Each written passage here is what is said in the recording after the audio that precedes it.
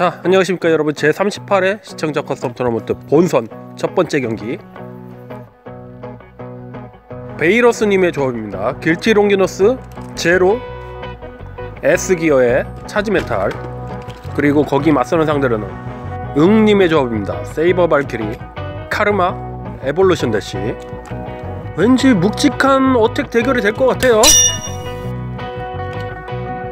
지금 길티롱기누스 조합은 90g이 넘어가는 어마어마한 무게의 조합이라.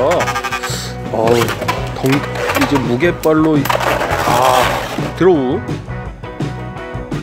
무게로 인한 카운터 같은 거는 엄청 잘 칠 것 같아요 길티가. 자아 세이비어 무게 밀립니다. 밀, 밀려요. 자 세이버도 지금 에볼루션 대시가 풀각성 상태라 고속 이동으로 인한 가속력을 통해서 엄청난 한 방을 넣을 수 있는데 아우 방금 어퍼 충격이 굉장히 컸어요. 자 일단 이제 무게가 깡패라는 말이 이런 말이죠. 자, 세이버 여기서 역전의 시 아우 방금 쳤는데 공중으로 떠버렸어요. 아우 무겁다 진짜. 아 체력이 다 빠졌는데 오버 자 기적적으로 오버 한 번 얻어내긴 했지만 세이버 타격이 아우 저 무게로 인해서 거의 다 차단되는 상황인데 야 무식하다 진짜. 90g이라는 무게가 91g인가 92g 정도 되거든요. 지금 이 길티가 무게 재봤거 재봤는데. 아 진짜 무식해요. 아 스핀 피니시 하지만 X기어로 인해서 이제 후방 끄심이 처짐 현상으로 인해서 좋지 않죠 아우 방금도 연타 무수한 연타를 집어넣었는데 미동도 안 한 길티 세이비어 스태미너가 다 빠져서 휘청휘청 거립니다 이대로 경기 끝나나요? 어? 어? 웬 스피 아니 왜 사는 거지? 러버 흡수 효과인가? 자 어쨌든 세이비어 발키리 기적적으로 준결승에 진출을 하게 되었습니다. 자 이어지는 본선 2차전. 해마 사장님의 조합입니다. 베니시 바하무트 제로 기가 존대시 플러스 존. 그리고 거기 맞서는 상대는 카즈하님의 조합입니다. 베니시 롱기누스 텐 기가 업서브 자 베니시끼리의 싸움.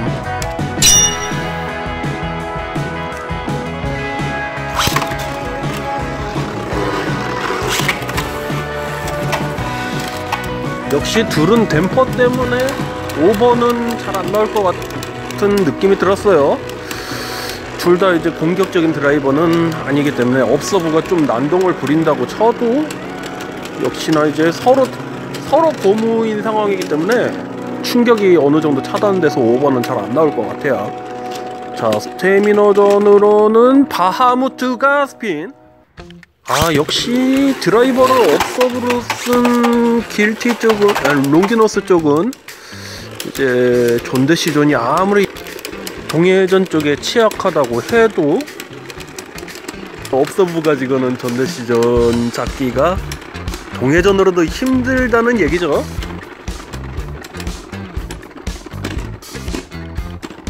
아 바하무트 또 스핀 잡아냅니다.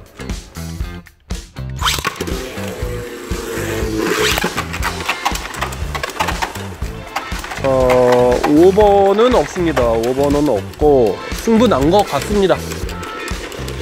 이제 뭐 여기서 오버가 나올 리도 없고 승부는 바하무트 쪽으로 나지 않았나 싶어요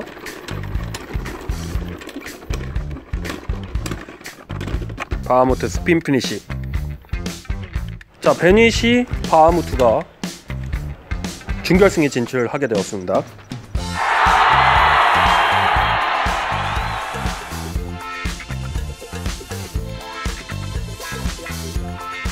자 이상으로 38회 토너먼트 본선 1, 2차전 경기가 모두 종료되었고요.